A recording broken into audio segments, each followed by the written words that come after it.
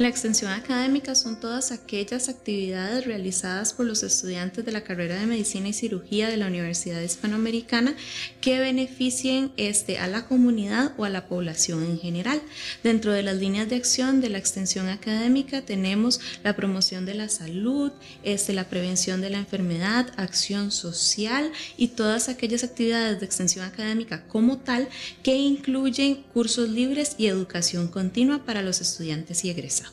Bueno, desde el año 2015 se han realizado una gran cantidad de actividades de extensión académica, más de 75 específicamente. Sin embargo, las actividades de acción social se hacen alrededor de 5 giras a comunidades indígenas al año.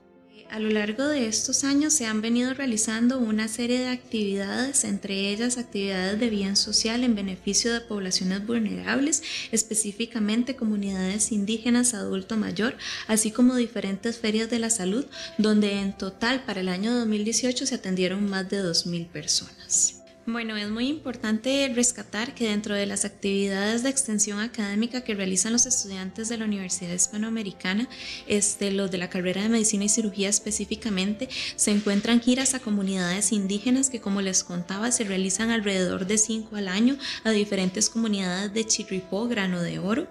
Este, todas estas giras lo que proveen son servicios médicos y de acción social como donaciones de ropa, entre otras cosas, a este, los habitantes de esta comunidad. Cuando se realiza cada una de estas giras que hacemos en conjunto con la Asociación Proindígena Kirko, atendemos alrededor de 300 personas. Además, en diciembre se les hace una pequeña fiesta de Navidad donde nuestros estudiantes de la carrera de Medicina y Cirugía se organizan para llevarles regalos a cada uno de los niños que habitan en esta comunidad.